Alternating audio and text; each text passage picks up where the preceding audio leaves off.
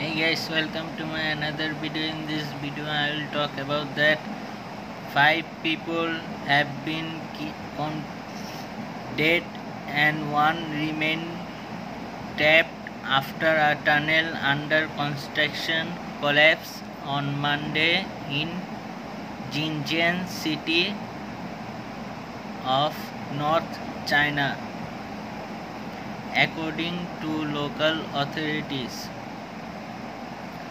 hope you guys enjoy the video. Please like comment share and subscribe for more news. Bye